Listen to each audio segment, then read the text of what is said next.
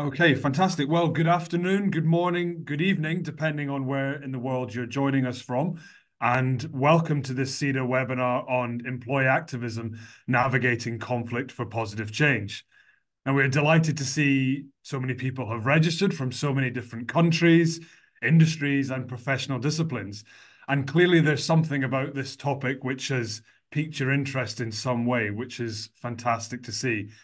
We have about an hour today, um, with the possibility to extend slightly, and there is quite a lot we'd like to cover.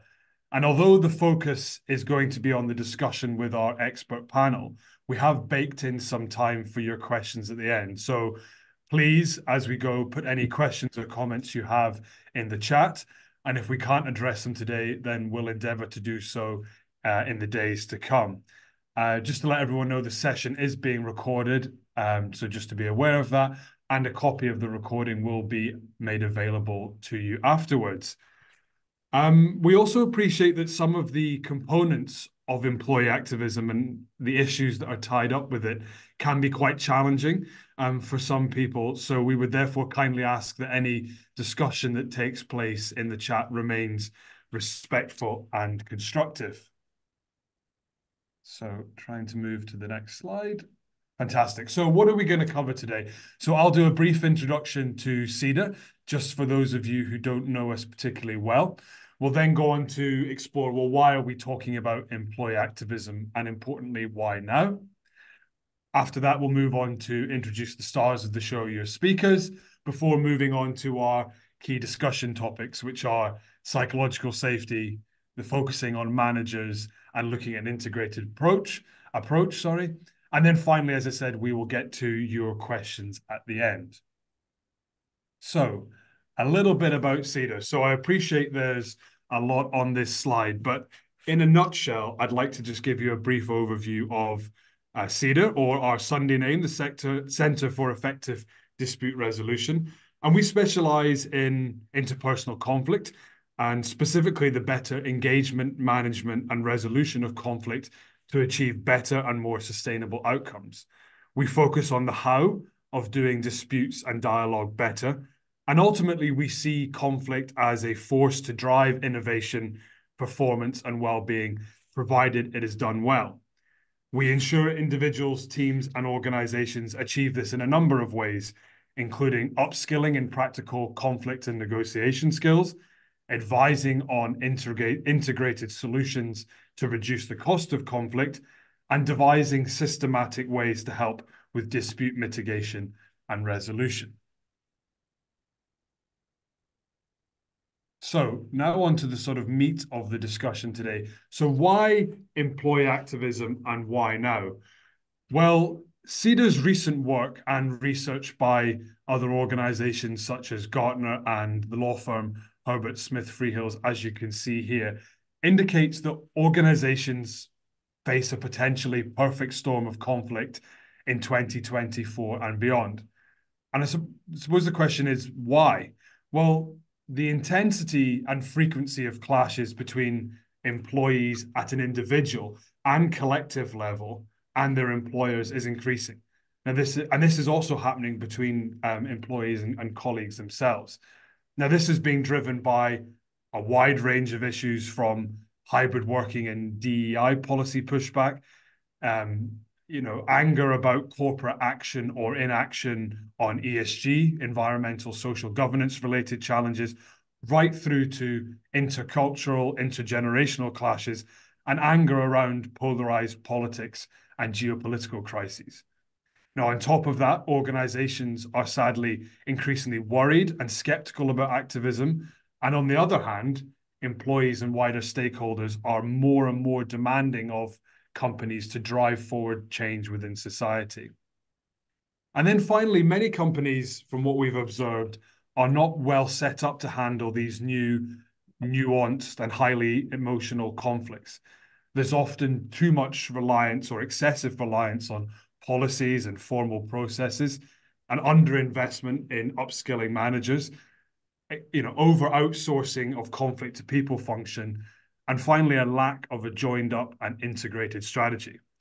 However, the good news is, and for those that are willing, there is an opportunity to rethink how you engage with this challenge and chart a better way forward.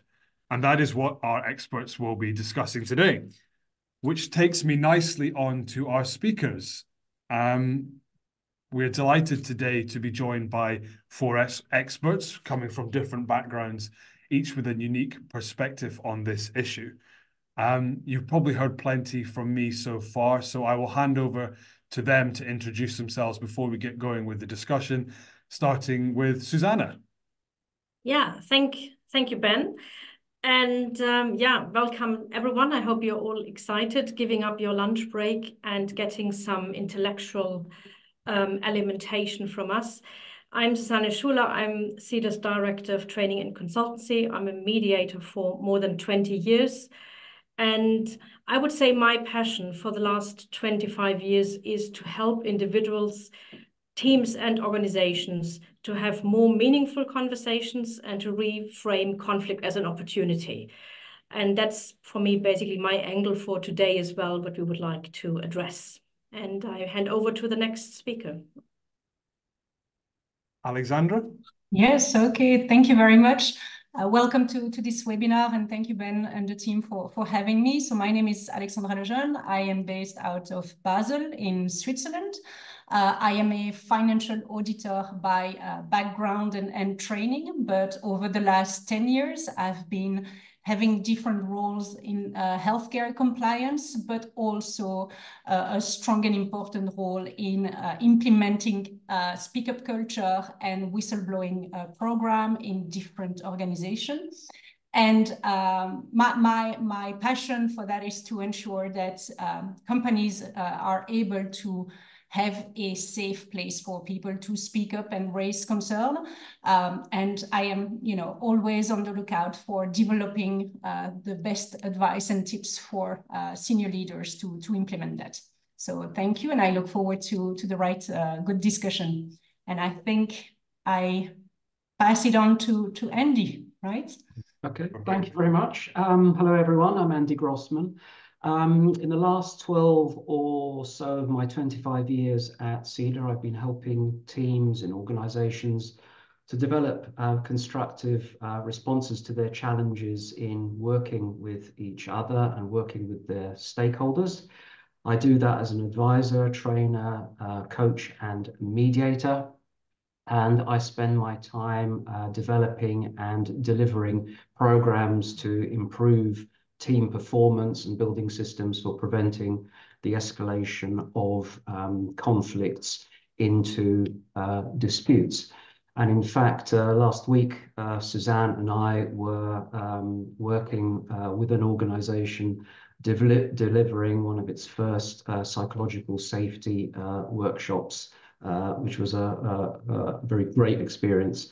So I'm very much looking forward uh, to the session and uh, working working with you, the audience, who unfortunately I can't I can't see at the moment. Fantastic, thanks, Andy. And last but by no means least, Stefanie. Thank you so much. Lovely to see so many people on this call today. So my name is Stefanie Sapountzi. I'm uh, based in Geneva, Switzerland, and uh, I've spent the past uh, 13 years of my career in human resources in uh, very different roles across the employee lifecycle. And uh, that in the private sector and international organizations, so very uh, used to a multicultural um, back, um, environment with a lot of different backgrounds. And my biggest passion is definitely uh, fostering talent and empowering people. And uh, from my experience, uh, one of the cornerstones really is psychological safety. Uh, to enable employees to thrive, to innovate, to collaborate, and uh, through that, in the end, to be um, engaged, committed employees that will ultimately support the company success and the company growth as well. So um, psychological safety, definitely not an easy task to accomplish, definitely not a one-off uh, off-the-shelf exercise, uh, especially in uh, speaking um, linked to the diverse culture and environments that I've been working in. And um, this is where I see my role to really uh, make sure that there are tailored approaches that fit the people, that fit the companies, that fit uh, different environments to get the best out of people and the, guest, the best out of the organizations. So I'm thrilled to be here today with all of you to share my experiences, but I'm also equally excited to uh, learn from the exchange that we're going to have. So uh, let's make this a valuable exchange for all of us. Thank you. Perfect. Thank you all. So I'm just going to stop sharing and we're already spotlighted, which is amazing. So Stefanie's also uh, teed up perfectly the first discussion point, which is psychological safety. And there are various things that we're going to dive into on that. But Andy, if I can come to you first, because psychological safety is a concept that most people will have heard of, but sadly, it's one that is often misunderstood. And I think we need to sort of get on the same page before we begin. So, what is it that you see that people get wrong about psychological safety? And why is that so harmful for efforts around you know speak up culture with which it's intimately associated and dealing with the wider issue of employee activism? Sure. Um, I guess there are a number of things we could spend time talking about, but um, let me just highlight a few of the sort of immediate things that come to mind. The, the, the first thing I think that organizations and teams get wrong is that psychological safety isn't the goal. It's not an end in itself. It's basically whatever the organization is trying to achieve. So it doesn't matter whether you are in professional services, whether you're making um, uh, widgets or um, uh, you're involved in operations. It's really the behaviors and practices which encourage psychological safety that really um, facilitate the goal. So that would be my sort of my starting point really for that. Um, of course, it doesn't mean that it, psychological safety doesn't mean that it's about avoiding uh, disagreements or feeling uncomfortable or challenging topics. And on the other side, it doesn't justify rudeness or or disrespect. So it's sort of two sides of, of, of, of, of the same coin. Um, I think another thing is it, it quite often we see that leaders feel that they have to take responsibility for psychological safety. Now, whilst they do have a very much a vital role, um, it's very much a shared a shared responsibility, and it's it's a team phenomenon. It's it's really about the team, um, and we've also got to remember that the structures and the hierarchies that are in an organisation also impact on on psychological safety. So it's you're you're working with a you're working with a, a, a whole system. Um, couple of other things that come to mind. Um, heard this thing about psychological safety showing a preference for extroverts over introverts. Um, that it's something to do with your certain backgrounds. Um, but actually, psychological safety grows very much with with diversity and the different people that you have working within the team. Uh, it's not about sort of individual attributes. Um, and that's because we we all bring whatever psychological baggage we have to to the team and and and it's it's about really being authentic and and and, and genuine as you can. Um, two final things. Um, it's not a one-off task building psychological safety you don't just go in, do a workshop, wave bye bye, and everything is everything is fine. It's not. It's a continual. It's a continual work is process. And I often describe it as people seeing it as a ladder you climb, and once you've reached the top, you sort of throw the ladder away as if it's a sort of it's it's some kind of magic. It's not that. Uh, it's not that at all. So I think those are the sort of key things for me, which I think that organisations get get wrong. And I would open it up to the rest of the panel. Are there any things that Andy's mentioned that particularly resonate with you on that?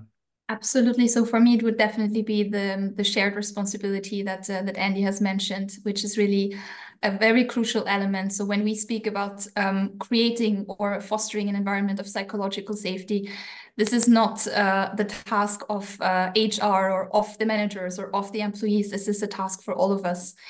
And um, as um, HR or from a company point of view, when we speak about HR, about compliance, governance, um, there is definitely a, a, a, strong responsibility there to provide the tools, to provide a framework um, to enable people, to enable managers. Um, and then what comes in next is really role modeling from a leadership perspective, um, supporting managers in the middle management. We will speak about that a little bit more uh, also during uh, during this panel uh, to have the right training to face these sometimes very challenging conversations that they will have to approach um, and to take the appropriate actions and um, enable all our employees and empower them to become those cultural architects, as uh, uh, Dr. Clark from uh, Leader Factory would put it, which for me is, has been a very inspiring um, element all through throughout my journey with psychological safety. And um, from my point of view, another element I would add um, is also managing expectations with everyone involved. This is something very crucial for me um, because uh, it is a challenging task. We've said that it's not a one-off exercise. And what is very important for me from the very beginning is to make sure that um, people actually feel heard, even if um, what they have communicated doesn't result into an immediate action. And this is very normal in many cases because also from a company point of view, that this is an ongoing effort to provide the tools, to provide the policies and uh, the appropriate support so sometimes it takes a bit of time to actually see the effect. That doesn't make speaking up uh, any less important. And um, this is where I really believe that in terms of managing ex expectations, um, being very transparent about the process. So really laying out the steps. What um, what is asked of the employee when they speak up? What are what happens after? Um, how do we protect our employees as well from retaliation? What are the timelines uh, and the steps of getting back to them and where they will they will actually be able to see an effect? So transparency for me is key here to manage expectations, to make sure that uh, employees who have spoken up actually do feel heard, even if there's not an immediate uh, massive change that comes from it. Yeah, I think often organizations think I have a magic wand. It's called psychological safety now. It was trust, collaboration in previous years, and I do that. And yes, they collaborate automatically. I just need to, to say the word, or you feel automatically safe. So I think there is a point um, around what an organization, to your point, Stefanie, managing expectations. Also, what is the organization ready to do? and you need to set yourself up for success in order to achieve that. And there are different, as we said, levels of, of safety, but there's principally um, you have to start with how do you want to communicate as an organization and are actually able at your current state what you can role model and then building up because if you as you said raise expectations you can only set yourself up a failure if you can't deliver and then there's also always the benefit that people are encouraged, you need to speak up. It's like when you tell someone you need to trust. Why do I need to speak up? Why do I need to trust? Um, there needs to be, for me, a reason to do that, a purpose. And, and to Andy's point, it's it's about the outcome. So we're working together, and, and there is a business purpose in organizations behind that. So I think it's it's taking all of that into consideration and and build build up and build the people up to want to speak up, but also to well, we come to that later as well. I think it's to have good conflict. Because in the end, you need to be able to have conversations of all sorts.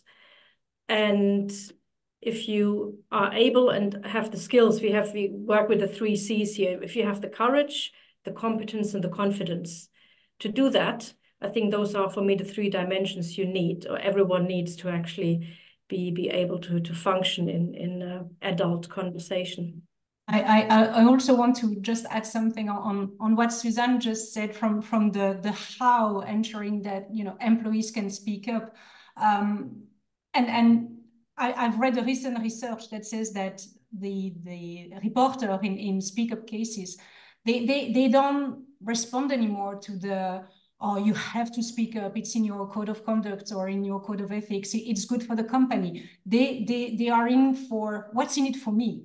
Like why why should i care about you know my company? What's what's the purpose? Like you know it's so much bigger than that. And uh, I, I was reading a paper recently and they were like okay the, the manager when they when they lead and when they walk the talk I, I, saw one of the comment in the chat is like they, they have to acknowledge that they don't know everything. So they have to hear from their team.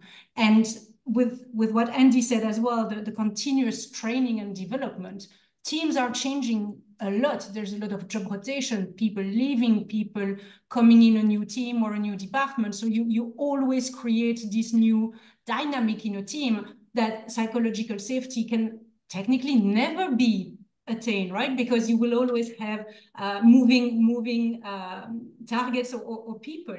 Um, but they also, you know, the, the, the, manager, they, they have to model this curiosity and ask question themselves and, and maybe ask for um, other, you know, opinion and, and what did you mean here? I'm not sure I understand.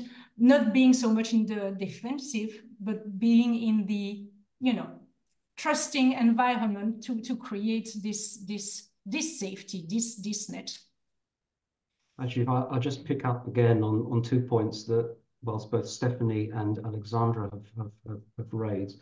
Um, and maybe it's linked to where maybe sometimes people get it wrong in organizations. This is not about being fearless. It's about having less fear.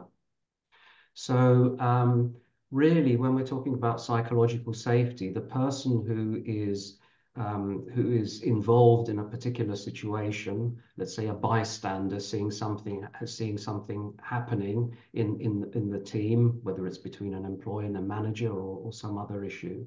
There are two questions actually. The first question, is it safe? And the second question, is it worth it? Um, there are, uh, and, and, and I think that it's the second bit of it that I don't think we can, we can ignore uh, because that's that's the that's the tough bit.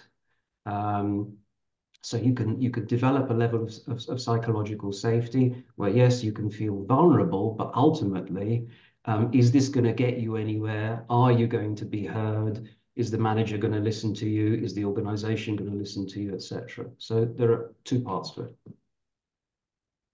I'd also like to open up to the panel within the context of employee activism. We've, we've mentioned speak up culture, obviously psychological safety, and these are things that organizations have been encouraging for years for people to speak up for the benefit of the business to drive innovation, surface new ideas.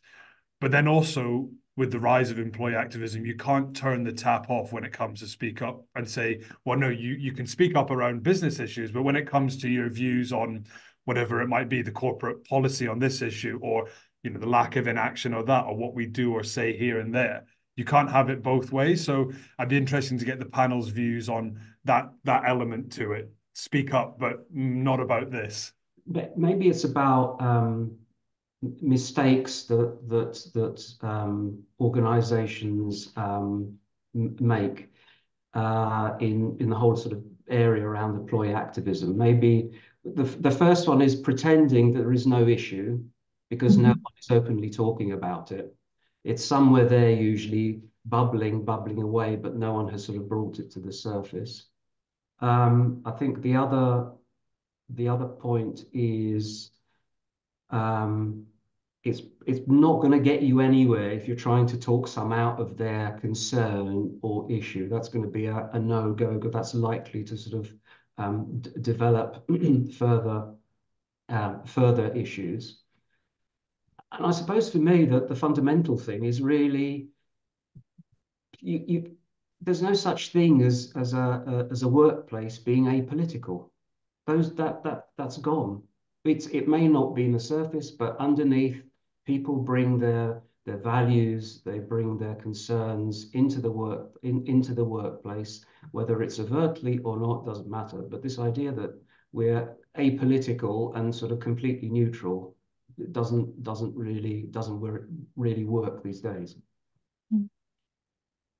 I, I would second that, and uh, and I agree also with what you've said. Ben, there's no there's no way of of turning off the tap, and uh, that's also something that actually we don't want because if we we also want that diversity. We want the diversity of opinions. We want it at work in people doing their jobs.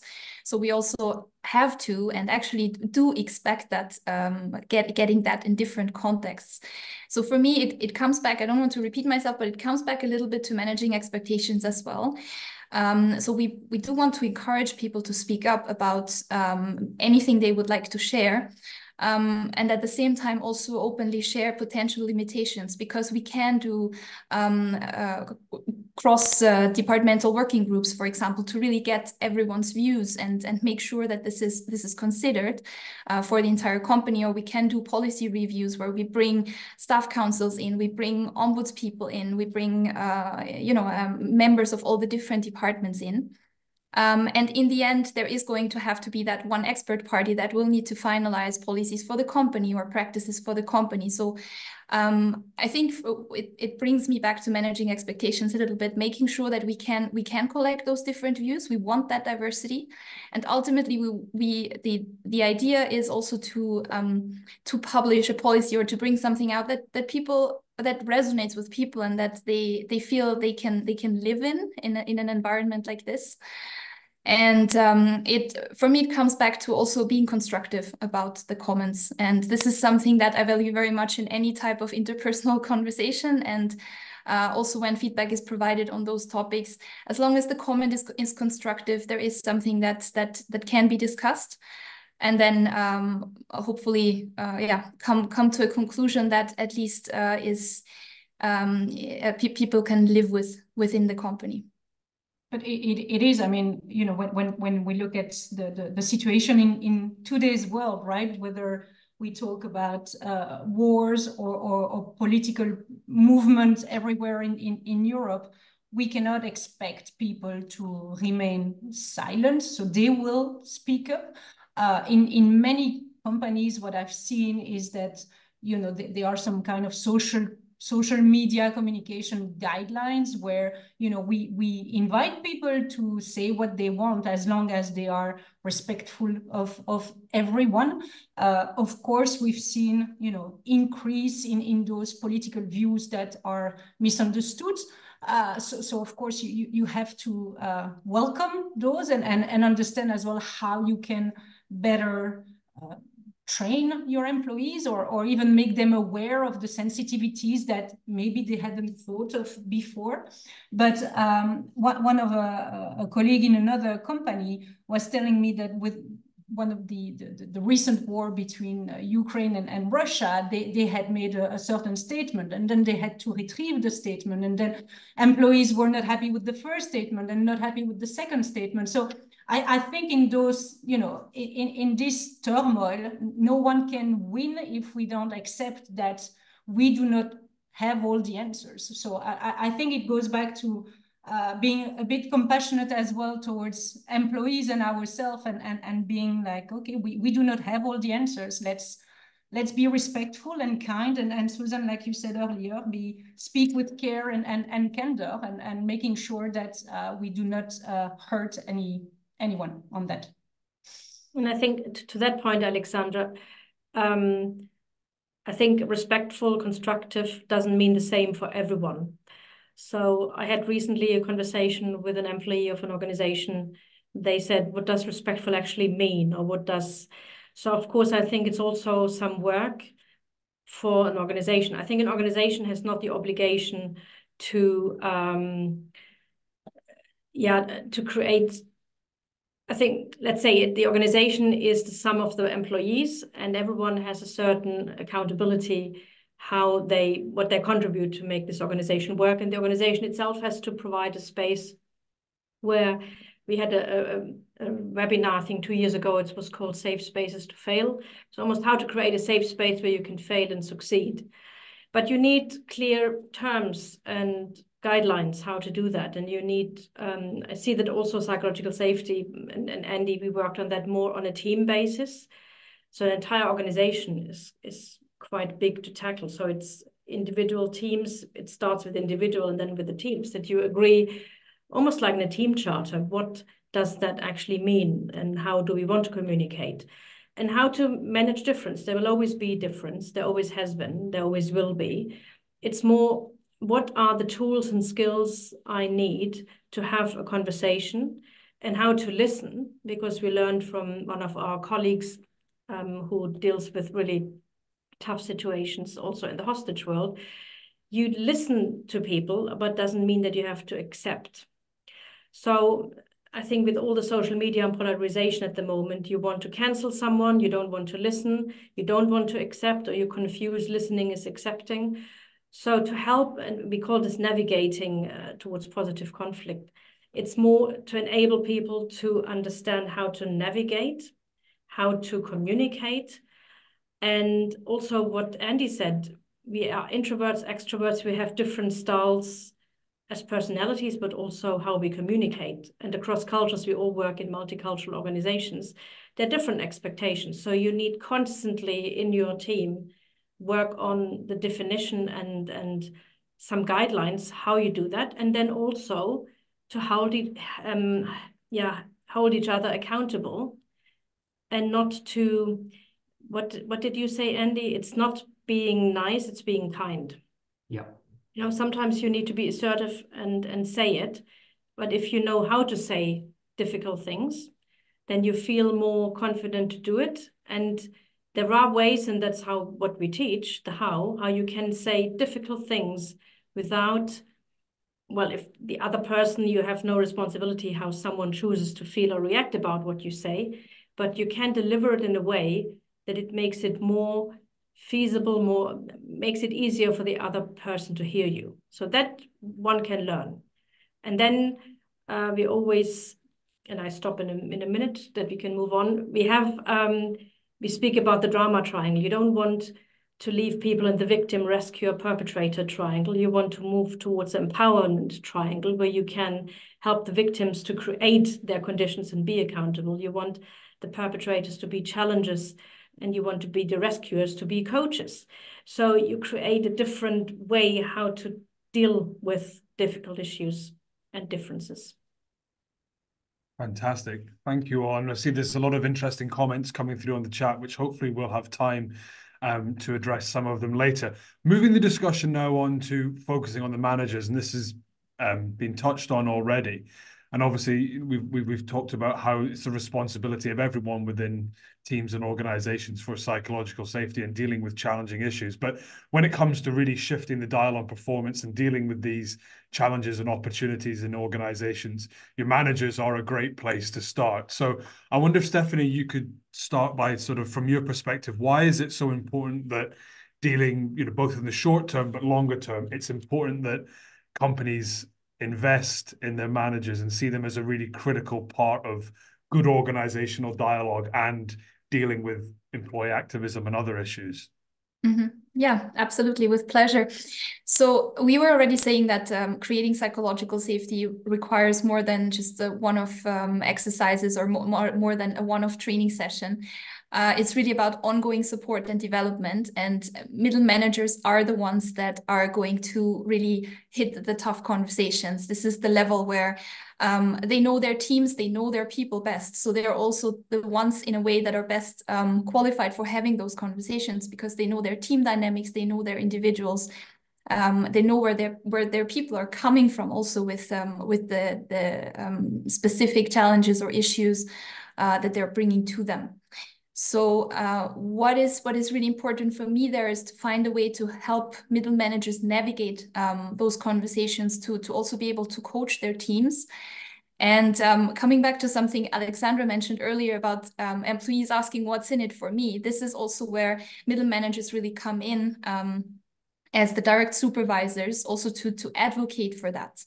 Um, what's in it for me it's for me it's a, it's a bit comparable to you know when you're at a restaurant and you don't like your dish. Of course you can walk away and leave an anonymous review somewhere um, and just leave the rest restaurant disgruntled. Or you could take a chance and speak up while you're there and actually have an impact on the meal that you have in front of you right there.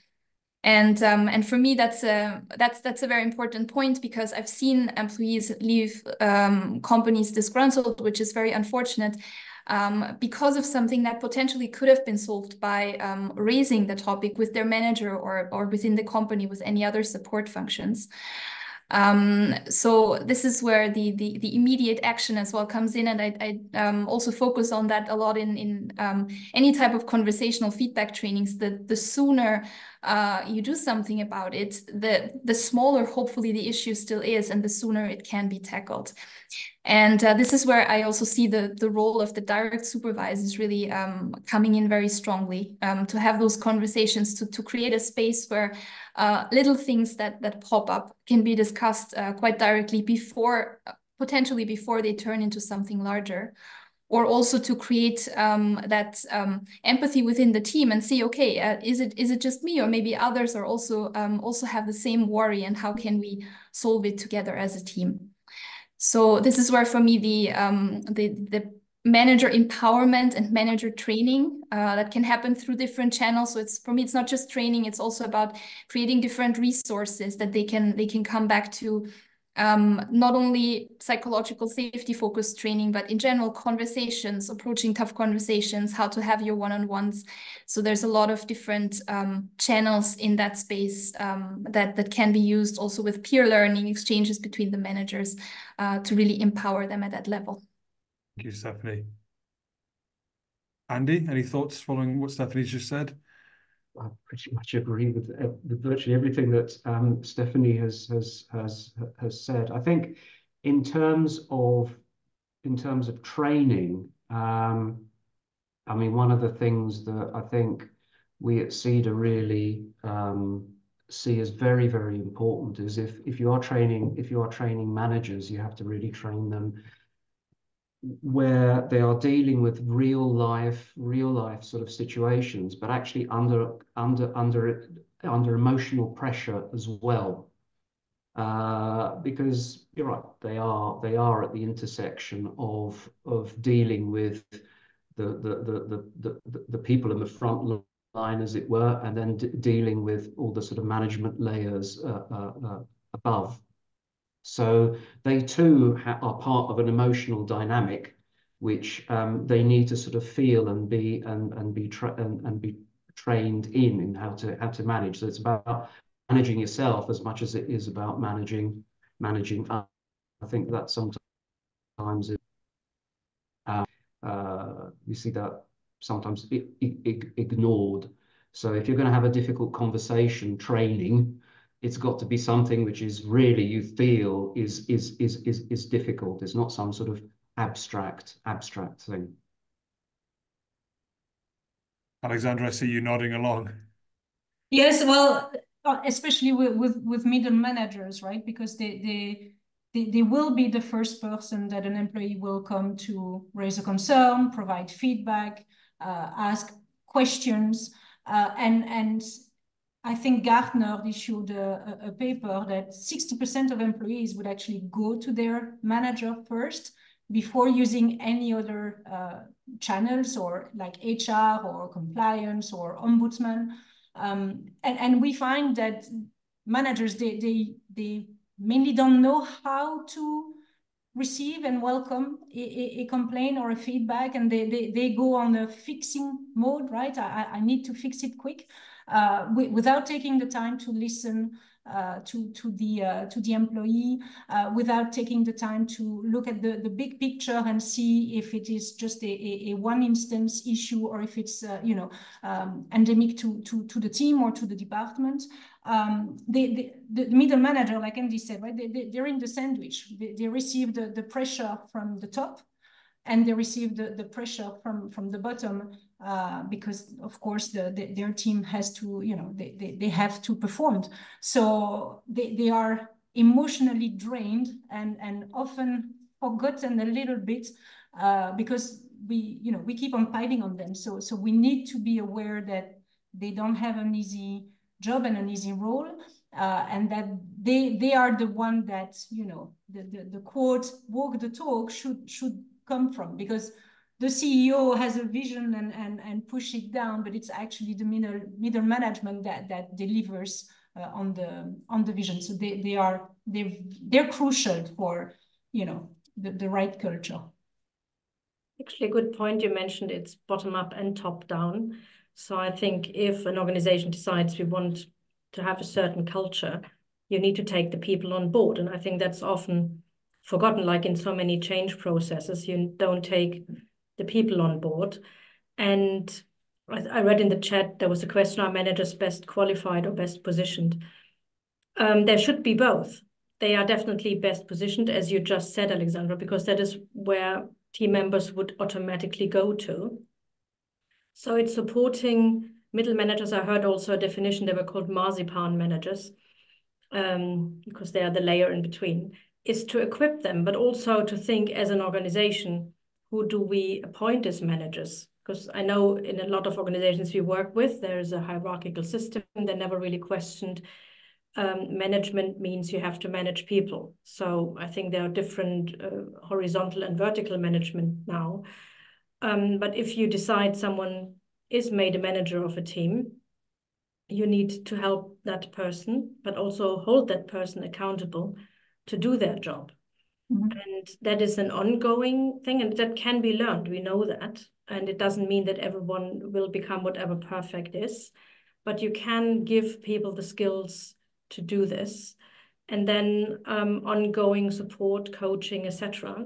But it comes back to the team. So if you equip the middle managers, you also need to equip the teams. So invest in time to have a team charter to agree how this team wants to become ideally a high performing team, which is actually uh, equal to psychological safety. Because if you highly perform, you are okay with challenging each other you're okay to learn, you're okay to make mistakes, and you will uh, contribute and you actually commit to the outcome, the business outcome as well. So I think you, you have then the full package. Again, it's work and it means that you will um, constantly have to do the work. You can't just stop and say, we've done it. But it becomes easier once you start the process um, being a manager is actually much more fun than um, a drag, what a lot of people experience. No, absolutely. And before we go on to our final talking point, does anyone have any final thoughts on the topic of of managers and focusing in on them? I I, I really agree. Sorry, Andy. No, go ahead. Go ahead. I really agree with with uh, the term equipping that uh, Susanne just used uh, several times. So for me, it's really about equipping managers, and uh, it's also something um, uh, that uh, yeah it, uh, indeed managers are, are best positions uh, best positioned not necessarily automatically best uh, qualified um, but this is where uh, really the, the company comes in with um, with equipping them. And indeed it's it's like Alexandra said as well not equipping them to fix issues but equipping them exactly like in in the comment is is mentioned as well to start this meaningful action. So really to filter what is it that we can tackle or that we can try to tackle at a team level and what is it that might need to be tackled at a different level. So where can I get these support functions from? Should I escalate it to senior leadership? Is it is there a challenge about is there something that could be done with more role modeling at a top level, for example, which is also a very very important factor because in the end it's true as a company uh, we can we can provide the the framework, but we also need to walk the talk. So what do people see from their actual senior leadership, from their actual uh, management layers that that really happens? So mm-hmm. uh, also in including that uh, that psychological safety vulnerability as well, which is a very important. Um, uh, criterion for to enable psychological safety. Um, how is that represented as a, at a management and at a senior leadership level? So this is also something where um, equipping uh, exactly uh, middle managers to either have those conversations or to take uh, to take actions or to take it to different levels uh, is really important from my point of view. Thank you, Stefan. And Andy, one final point. I saw you you're going to jump in previously. Uh, just very short, it, it, just to pick up on the Alexandra sort of sandwich um, sandwich point. I think that middle managers in particular have a particular um, internal conflict and or, or, or, tension and is between allegiance to the to, to the team protecting the team whilst at the same time having a, a, compulsion to sort of improve things or maybe even to report wrong wrongdoing. And that's um, sort of issue around group loyalty. And that's something very particular I think for for managers. Thank you.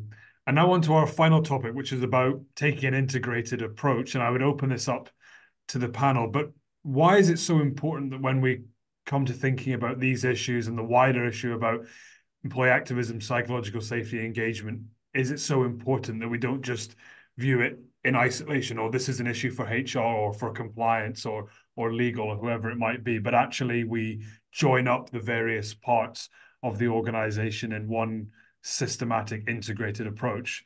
Um, who wants to start on that? Andy? Sure, sure. Well, okay, volunteered me. Um, okay. I think where this comes from is where organizations rely on the tightening of policies or over-reliance on policies. Now, policies are important. I'm not saying you, you shouldn't have a, a, policy, but policies are, in a sense, an abstract thing. They rely on people actually, you know, working working with the policies. So that's that one thing, and that's joined with another thing, which is a where organizations, you see, everything is sort of given to HR, you know, or there's a conflict or whatever, so HR becomes the sort of dustbin of of all of all conflict of all conflict issues. And the thing with that is it leads, it promotes a very reactive, um, compliance-led approach rather than a proactive de-escalation approach. So this is really about, yes, I don't have to agree with you. I accept what you say, but I don't necessarily have to agree with you, rather than it turning into some sort of full-blown, sometimes it actually it will be a, a, a a dispute. So that's a sort of starting point for me. Um, over reliance on on on on on policy, and you just sort of tick the boxes. Mm -hmm. And following on from Andy's comments, Alexandra, what, what are your thoughts on this issue? I mean, I, look, I, I am in the the compliance uh, world, but my, my best friends or slash colleagues, uh, I shouldn't say friends, but my my go-to people, they, they're HR because they will be the one giving me the tools to make sure that, you know, the culture that I want to uh, embed in the company is, is communicated the right way. Uh, they, they, they are aware of things and conflicts that, that we are not aware from, from the compliance side. Uh, they, they deal with all the I call them the, the soft issues with, with, with people, the conflict resolution. Uh, and, and from the compliance side, we, we of course deal with, you know, frauds and, and irregularities and, and things like that. But from, from a driving the message perspective, we can't do it, we can't do it alone. Otherwise we will, we will fail um, we, we, we have to be all together in, in the message that, that we want to bring to the employees, to the manager, to the senior leaders. Um, of course, the, the, the way we approach things, it's different. The risk that we are facing, they are different, but ultimately it's for the, the, the, the well-being of, of everyone in an organization. So we, we cannot go I cannot go on my crusade on my own because I will I will fail for sure. I need I need my partners. Yeah. I hope Stefanie agrees with me. I absolutely do. And I'm very happy to hear that because as someone coming from the HR angle, definitely very close link to, to compliance and uh, and and this goes both both ways. And uh, I just picked up the, the last comment on the um, on the manager conversation we just had, which was equipping for alignment to respond. And I actually really like that comment because I think this is also where policies come in, because we really we, we want to ensure fairness um, and at the same time not lose the the human and the personal and the individual aspect. So I think that this is where um, the link of HR and compliance, providing uh, unified guidelines uh, from from a high level point of view from the company and then uh, and then equipping our leaders our managers our people to um, apply them in the context that they sit in. I think this is this is an, a very very important link uh, so that indeed like another comment says that the policies don't uh, don't uh, die the first time they as soon as soon as they hit people. So as soon as they have contact with people so I think that's a, that's a very important point indeed, that link. Um, and then um, as, as uh, we were already saying earlier, that, that integrated approach, uh, also very important that it doesn't all come, it might be company compliance HR driven, um, but in the end, it's the, the people, the managers that, uh, that will represent it and it will turn it into a living thing in the end. And if they don't back uh, what's coming from a top level, uh, mm-hmm. then it's not getting us very far. So um, this also brings me back to something I mentioned earlier with, for example, cross-functional working groups, really making sure to, to involve people in um, the creation of a policy, in the creation of of, um, of of directions of strategies for the company. Um, and even if uh, there are uh, experts going to put it all together in the end, and even if not uh, every comment maybe will be will be seen in the final product, it is so important to collect all these all these opinions because in the end, this is how something will will will come together. Um, that um, that that hopefully represents the people of of that particular company. I think there is um, also an inbuilt agility because times change and you need a policy is not um, like the 10 commandments, even they are agile, uh, once engraved in, in stone. So it's basically something that allows for um, responding to current situations. And I think there's also a spectrum. I think I saw some comments in the chat about power as well. Of course, um, speak up, there's a spectrum. It's from speaking up about an issue with a colleague, perhaps, to whistleblowing. That's a long spectrum. And you need to cover in your policies, of course, clear ideas around what whistleblowing means and consequences and how important that is. And from, from our friend and colleague Margaret Heffernan, we know from Willful Blindness and Dare to Disagree, um, worth watching that TED Talk and, and reading um, her books, means that you need to have a clearly defined policy, uh, what that means, and that comes back that you then develop almost like a risk register for conflict and the cost of not speaking up. Um, that means if you start with small conflict, small c, can be dealt by employees themselves to equip them to have conversation versus when a manager needs to come in and, and offer a third party and perhaps almost like a facilitator role and perhaps then there's an ombuds function or an internal mediator towards uh, if the word harassment, for example, comes up, then an official process needs to start, and it's a it's a legal procedure.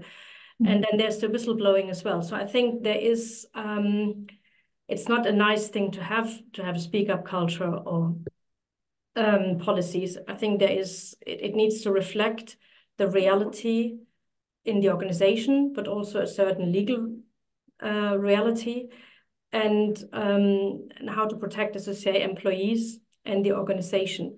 And I think the word balance came up, uh, not today, but in a recent conversation with, all of you. It needs to be balanced.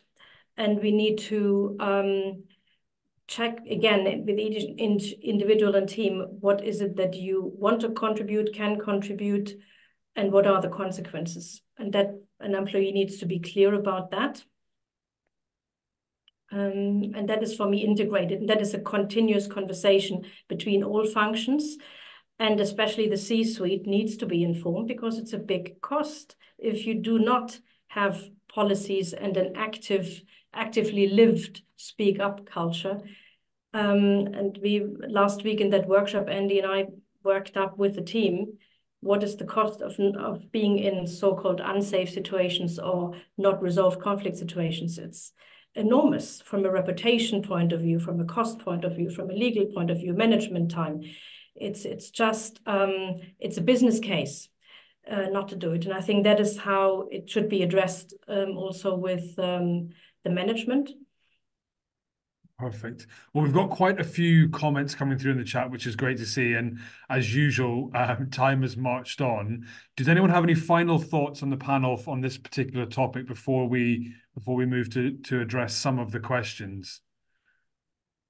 Yeah, I, I think it's just really a, a reminder, um, Ben, that we've been talking about sort of empowering managers, which is which is which is which is which is one thing about part of the integrated approach. The other one is about, um, and this may pick up some of the points in the chat. You know, what what happens when an organization is um, is, is is clearly um, seeing uh, difficult conversations, discussions, or maybe no discussions happening between issues like um, you know the, the, the situation in in in uh, Gaza between Israel and, and and and Palestine. So there, um, you might specifically want to have a, a, third party, you know, an expert facilitator coming in not just to, to build and rebuild communication relationships, because that's the that's the sort of end end, end result, if you if you like, but it's also about designing the processes which are um, which are uh, relevant to the issue.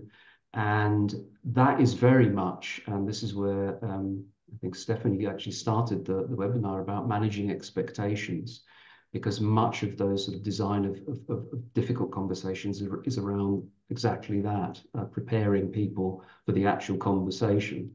And probably 80% of the work is, is done that way. And we've got examples. I, I know CEDR has been involved um, in facilitating discussions like that. And the other and the other thing is really around planning because this is really about sort of dispute prevention.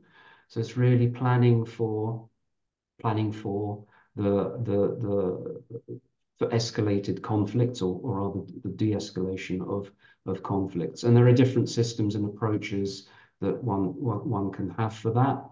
Um, it may be it may be mediation, maybe a mediation and a combination. I've, noticed someone in the chat has mentioned uh, an ombuds an ombuds scheme, and in fact, Susanne and I are just working on the moment for in, in putting in an ombuds scheme for a for a for a, for a very um, for a very large um, uh, corporate. But that's all part of a a campaign which involves um, speak up. So it's it's really just looking at things much more holistically rather than and and and that's what we mean really by a proactive a proactive approach rather than having something which is reactive and and working on a on an ad hoc basis. Thank you andy. Um, so now just turning to some of the questions come through. So i'm trying to piece together a couple that have come but one of them that seems to be getting quite a lot of traction is uh, can you define what you see as employee activism versus employee engagement versus employee conflict. And I think that relates to an earlier question around um, why should an organization encourage energy to be expended in a way that can internalize unnecessary conflict? So quite a difficult point, but um, has any, anyone on the panel got a thought? So defining the difference between employee activism and engagement versus conflict. Um, it seems to be sort of that that spectrum of of engagement. Does anyone have any thoughts on that? Okay, let me let me have a let me have a, a, stab a stab at that. So I think really engagement, employee engagement is is for me to do with actually uh, being motivated, doing the job, understanding understanding what the what the purpose is, and having sort of meaning in your role, and that's that's one aspect. Activism is well, actually, activism can be taken at three levels. One is at the sort of very strictly at the sort of workplace level. So that deals with sort of harassment, um, bullying, um, pay equity, um, and now actually more so AI, AI and job displacement. So what the sort of concerns around around that. The second one is more is, is broader than that. So it's about you know, environmental stuff, environmental um, things. So carbon footprint, it might be something that an organization is, employees are worried about local pollution in, in, in, in, in, um, in what the organization is doing. And the third is, is, is, is broader uh, in terms of related to supplier and customer issues. So working conditions, maybe it's um, someone seeing something which is unethical in terms of how products are used or, or, or services are, are delivered. And employee conflicts, well, that, I guess what we would say there is that um, we, we talk about task, process, and and relational conflict. So task and process conflict, there's nothing wrong with that. When when when we we need that, we we know we know we need that for innovation and and doing things better. It's where task and process then turn into interpersonal conflict, and that's where it goes that's where it goes wrong, if I can put it if I can put it that way.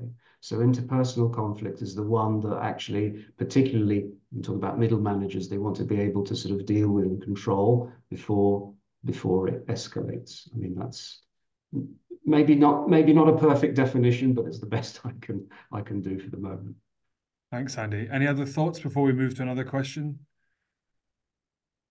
Okay, so one one thing that's come up a few times, and Andy, you touched on it briefly earlier, was this idea or this challenge around um, facilitating difficult conversations around geopolitical crises and how you might have people in your team who um, are from a certain religious or ethnic or cultural background who might be um, worried about the views of other people in their team. So, how do you kind of resolve that situation or approach that type of quite difficult scenario?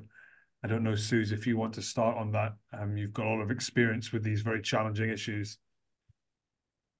Yeah, I think first is to acknowledge that people have different views, opinions, and experiences, and you never know what one experienced. So I think that cannot be taken away from anyone. So, um, of course, we are an organization where we learn how to communicate. Not every organization is built like that. So I think it's important to, again, have an idea that can come from employee relations, from HR, I don't know, have an idea how that should be handled, but then also create um, platforms where things can be discussed by either a facilitator. We offer that service. We have done that in in another organization. Um, DEI department invited us to facilitate difficult conversations. But then also, again, coming to the word equip, help people to have those conversations and to have the skills to um, have the conversation, but also how to manage one's emotions and to really seek to understand. So we work with a partner organization, they're called Solutions Not Sides. They're specialized in the Gaza and, and, that Israel-Palestine conflict.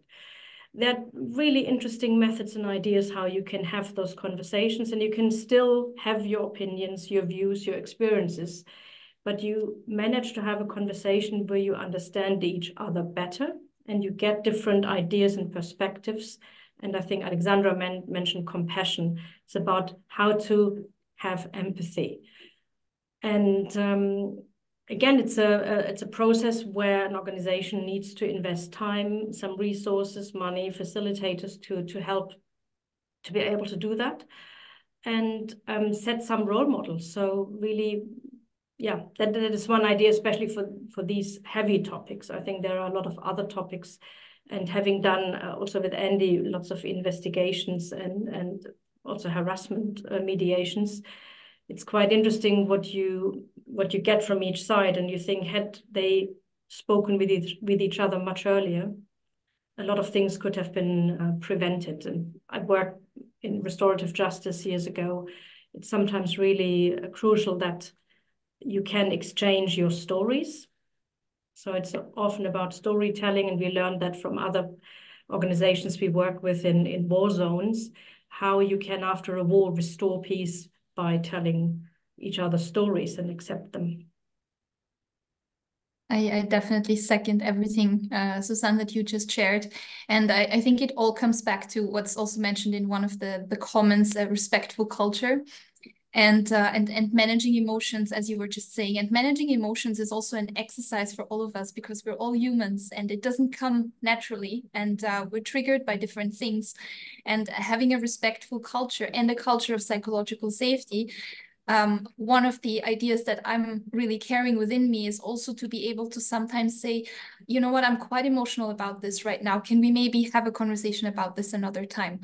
Which uh, is also perfectly fine. And it doesn't mean that we're trying to avoid a difficult conversation. It is simply that it, it might, for someone, uh, for someone else, it might be a way of managing their emotions right now. And if we manage to build and to foster, which of course is an ongoing exercise, a, a respectful culture and a culture of psychological safety, then hopefully we can also get to a point where we will really listen to understand when we listen to someone really to also understand what's behind and uh, and and also respect uh, that maybe uh, we, we don't um, we're, we're not at the same level right now and maybe another time is better to have this conversation or in another uh, type of environment. Fantastic. Well we as always have gone over time slightly. I don't know if anyone has any before we round things up any final thoughts from today um, or anything that's particularly struck out for you or we can we can sort of move to, to closing things up no, perfect. Okay, so back to the PowerPoint. If I can move to the next page. So if you'd like to know more about this topic, which we appreciate is a, is a mammoth one, you can download CEDR's white paper on this. If you go to learn.cedr.com forward slash employee activism, I've also put in the chat that goes into a little bit more detail about some of the issues that we've discussed. Um, and that just leaves me to say thank you very much. Thank you to our speakers, Stefanie, Alexandra, Susanne, and Andy. It's been a it's been a fantastic discussion, incredibly insightful very challenging. It's a huge topic, and trying to cover it all in in just an hour is is indeed very challenging. But we do hope that this will be the start of a conversation with many of you. Um, and also thank you to you for joining us, for sharing your ideas, opinions, questions in the chat. We really appreciate it, and it is only served to enhance the the discussion we've had today. So thank you very much for attending. Um, the recording will be made available too, and we will also look to pick up some of the themes that have emerged in the chat in some future thought leadership.